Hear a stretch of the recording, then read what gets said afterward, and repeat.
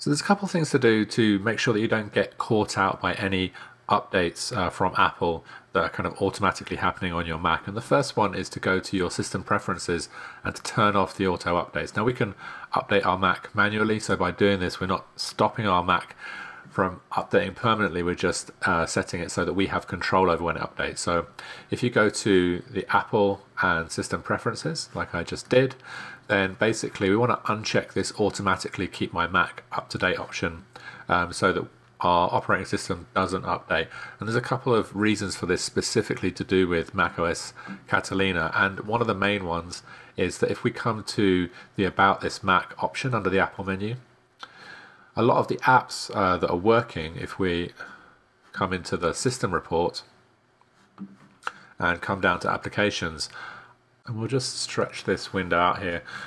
The key column that we're looking at here is this 64-bit um, option that we have here. So basically, this is telling us which apps um, that we can see are actually 64-bit enabled. We can reorganize these windows here.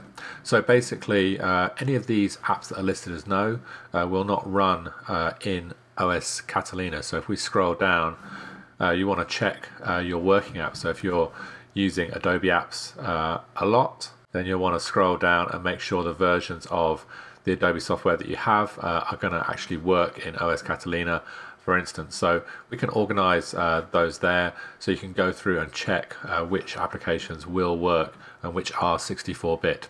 Um, if you do the automatic update, and a few people have been caught out by this, then you may find that some apps that you use regularly in your work will stop working. Uh, so basically my approach and a lot of professionals' approach to working with the new operating system on their main Mac is to delay for as long as possible, um, simply because that lets all the bugs be found out, uh, lets everyone else uh, who rushes into the update test it, uh, and then hopefully um, you'll run into less problems when you kind of jump into uh, those updates. Having said that, Mac OS Catalina, from the reports that I've heard and from the small tests that I've done, seems a lot faster um, with rendering in Final Cut Pro 10, with working in Final Cut Pro 10 because it's using some of the system architecture in a more advanced uh, way uh, and that will kind of make your workflow quicker. But hold off for as long as possible if you can. Otherwise, you could find yourself uh, getting stuck, not being able to use some of the applications that you actually need from a day to day basis.